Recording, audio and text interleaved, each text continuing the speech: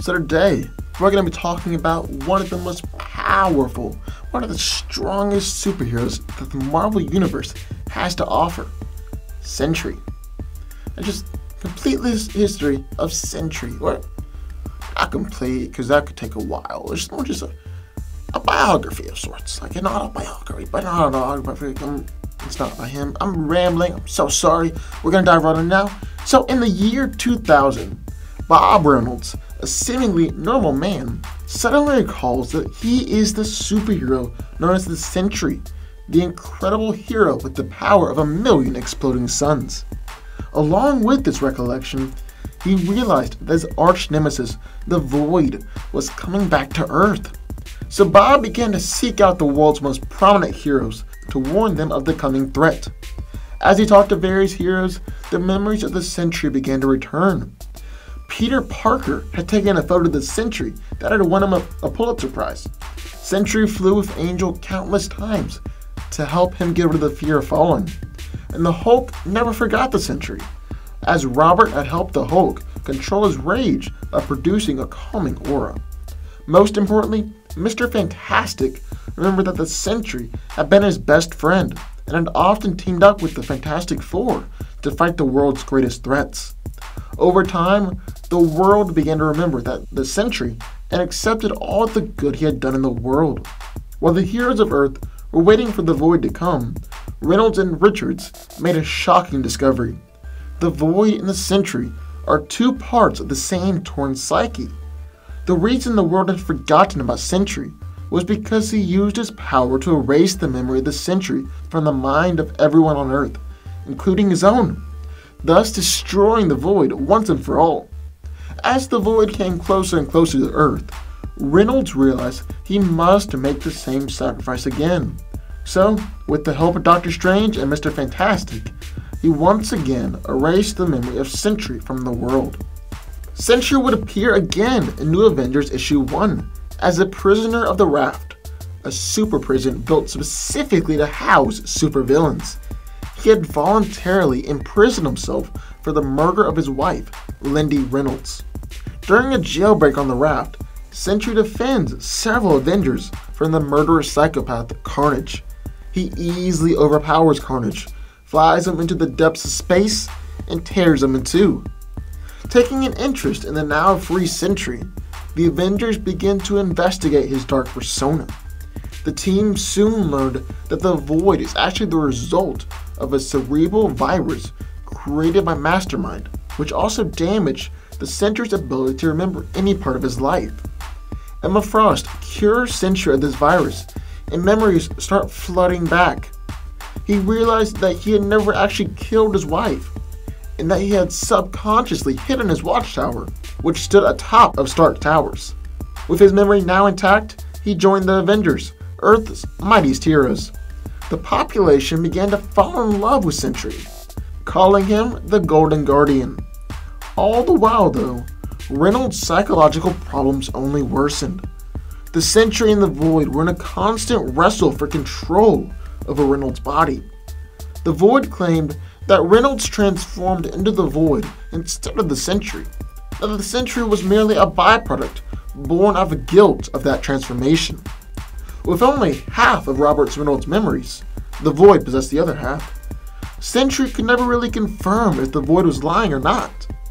With the help of Doctor Strange, Sentry was able to realize that he was in fact real, and he also regained the memory of how he gained his powers.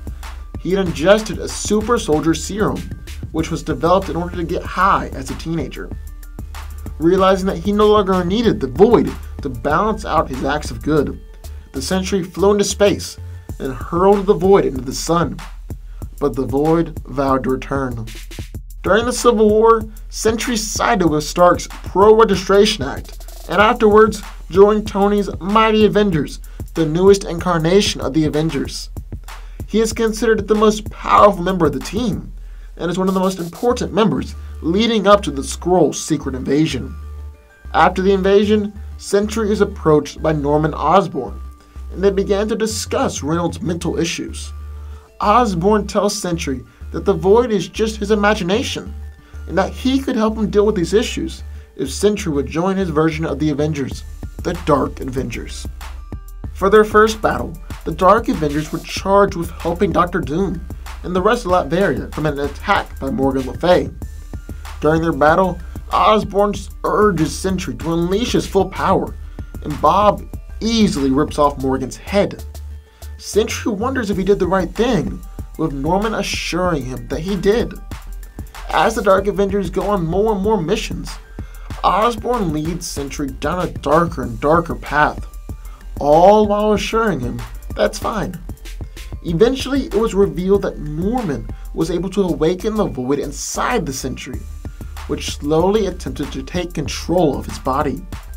The void was able to convince Reynolds to give up his Sentry form, allowing the void to take complete control. Osborn, deciding to cement his base over America, chose to attack Asgard under the guidance of Loki. Acting as Osborn's secret weapon, Sentry, now possessed by the Void, is the first to attack the city and does battle with numerous different Asgardians, including Thor. Ares, the god of war and member of the Dark Avengers, realizes Osborn's ulterior evil motives and turns on him. Norman responds by sending the Sentry after the God of War, and Sentry literally tears Ares in half. After the death of Ares, Captain America and the Avengers arrive and are able to take down Norman Osborn. Only after being beaten, though, does Osborn reveal that he was the only one keeping Sentry in check. Now the Sentry has completely merged with the Void. The Avengers try to mount a counteroffense against Sentry, but they are overwhelmed by his immense power. Loki, feeling responsible for helping Osborn stage the attack, used the Norn Stones to re energize the Avengers. Sentry realized that Loki is helping the Avengers and instantly killed Loki by ripping him in half too. In a last ditch effort, Iron Man used the shield helicarrier as a large bullet and rammed it into Sentry. Battered and beaten, the Sentry reverts back to Robert Reynolds and asks to be killed after seeing all the damage he had done. Thor is reluctant at first, but the Void begins to take control again. And with one final blow from Mjolnir, Thor killed both Reynolds and the Void. Feeling remorse, Thor takes the remains of Sentry and throws him into the sun. Years later, the Sentry returns after becoming the Horseman of Death for the Apocalypse Twins. When the Uncanny Avengers discovered the Apocalypse Twins' hideout, Sentry made a beeline for Thor and flew him light years away from the battle. Sentry explains to Thor that he isn't angry for what he did, instead, saying that he understands Thor's rage towards the Void for murdering his brother Loki. Sentry then easily overpowers Thor, but then he encounters Janet Van Dyne, the Wasp. The Wasp was able to convince Sentry to help them in their battle against the Apocalypse Twins, and even some of the incredibly powerful Celestials. He's able to stop one of the Celestials single handedly, which is very impressive. After the victory, he tells Janet how happy he was to be an Avenger again before flying off into space. So that's it. That's just a short, brief history of the Sentry, one of the strongest superheroes in the Marvel Universe. What do y'all think? Sound off in the comments down below. I would love to hear what your thoughts are. Also, I have started a new channel, which is a movie review channel.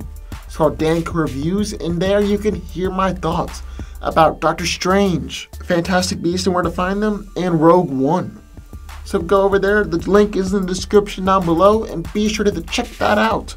Also, be sure to hit the subscribe button down there right below for more videos like just like this one every single week. So today, we're going to be talking about one of the most powerful, one of the strongest superheroes that the Marvel Universe has to offer Sentry. And just complete history of Sentry. Or not complete, because that could take a while. It's more just a, a biography of sorts. Like an autobiography, but not an autobiography. Um, It's not by him. I'm rambling. I'm so sorry. We're going to dive right in now. So, in the year 2000, Bob Reynolds a seemingly normal man, suddenly recalls that he is the superhero known as the Sentry the incredible hero with the power of a million exploding suns. Along with this recollection, he realized that his arch nemesis, the Void, was coming back to Earth. So Bob began to seek out the world's most prominent heroes to warn them of the coming threat. As he talked to various heroes, the memories of the Sentry began to return. Peter Parker had taken a photo of the Sentry that had won him a, a Pulitzer Prize. Sentry flew with Angel countless times to help him get rid of the fear of falling. And the Hulk never forgot the Sentry, as Robert had helped the Hulk control his rage by producing a calming aura. Most firm if the Void was lying or not. With the help of Doctor Strange, Sentry was able to realize that he was in fact real, and he also regained the memory of how he gained his powers. He had ingested a super soldier serum, which was developed in order to get high as a teenager. Realizing that he no longer needed the void to balance out his acts of good, the Sentry flew into space and hurled the void into the sun. But the void vowed to return. During the Civil War, Sentry sided with Stark's Pro Registration Act, and afterwards joined Tony's Mighty Avengers, the newest incarnation of the Avengers. He is considered the most powerful member of the team, and is one of the most important members leading up to the Skrull secret invasion. After the invasion, Sentry is approached by Norman Osborn, and they began to discuss Reynolds' mental issues. Osborn tells Sentry that the void is just his imagination, and that he could help him deal with these issues if Sentry would join his version of the Avengers, the Dark Avengers. For their first battle, the Dark Avengers were charged with helping Doctor Doom and the rest of Latveria from an attack by Morgan Le Fay. During their battle, Osborn urges Sentry to unleash his full power, and Bob easily rips off Morgan's head. Sentry wonders if he did the right thing, with Norman assuring him that he did. As the Dark Avengers go on more and more missions, Osborn leads Sentry down a darker and darker path, all while assuring him that's fine. Eventually, it was revealed that Norman was able to awaken the void inside the Sentry, which slowly attempted to take control of his body. The void was able to convince Reynolds to give up his Sentry form, allowing the void to take complete control. Osborn, deciding to cement his base over America, chose to attack Asgard under the guidance of Loki. Acting as Osborn's secret weapon, Sentry, now possessed by the Void, is the first to attack the city and does battle with numerous different Asgardians, including Thor. Ares, the god of war and member of the Dark Avengers, realizes Osborn's ulterior evil motives and turns on him. Norman responds by sending the Sentry after the God of War, and Sentry literally tears Ares in half. After the death there, he easily overpowers Carnage, flies him into the depths of space, and tears him in two. Taking an interest in the now free Sentry, the Avengers begin to investigate his dark persona. The team soon learned that the Void is actually the result of a cerebral virus created by Mastermind, which also damaged the Sentry's ability to remember any part of his life. Emma Frost cures Sentry of this virus, and memories start flooding back. He realized that he had never actually killed his wife, and that he had subconsciously hidden his watchtower, which stood atop of Stark Towers. With his memory now intact, he joined the Avengers, Earth's mightiest heroes. The population began to fall in love with Sentry, calling him the Golden Guardian. All the while, though, Reynolds' psychological problems only worsened. The Sentry and the Void were in a constant wrestle for control over Reynolds' body. The Void claimed that Reynolds transformed into the Void instead of the Sentry, that the Sentry was merely a byproduct born of the guilt of that transformation. With only half of Robert Reynolds' memories, the Void possessed the other half.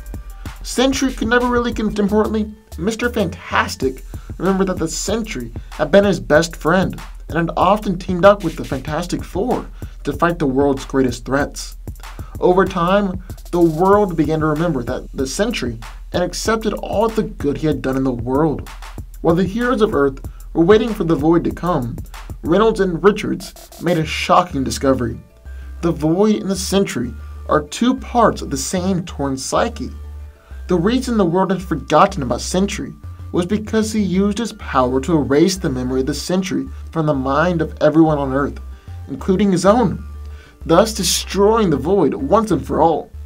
As the Void came closer and closer to Earth, Reynolds realized he must make the same sacrifice again. So, with the help of Doctor Strange and Mr. Fantastic, he once again erased the memory of Sentry from the world. Sentry would appear again in New Avengers issue 1 as a prisoner of the Raft, a super prison built specifically to house supervillains. He had voluntarily imprisoned himself for the murder of his wife, Lindy Reynolds. During a jailbreak on the raft, Sentry defends several Avengers from the murderous psychopath Carnage.